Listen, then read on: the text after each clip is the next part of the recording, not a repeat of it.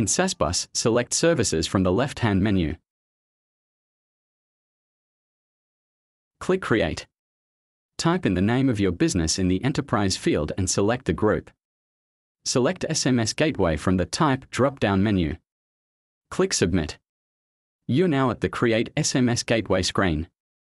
There are four parts to this. Section 1 is Select SMS Gateway from the Service Pack drop-down menu.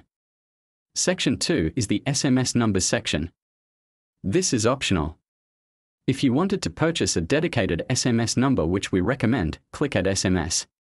Select the number from the drop-down menu.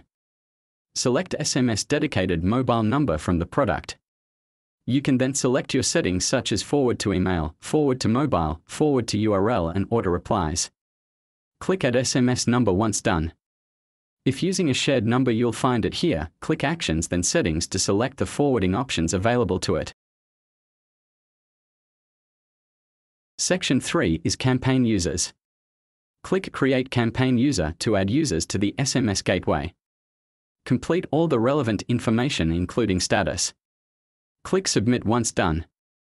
Then select Enable next to the users you want to use the gateway. In Section 4, add any missing information as required for the user. Click Next once done. Click Submit and then the gateway is created.